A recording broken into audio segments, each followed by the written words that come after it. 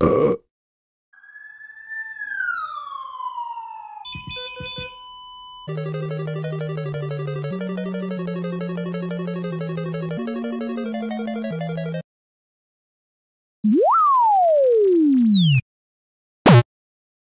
We will see and the land says belong everyone to us. And we all meet again.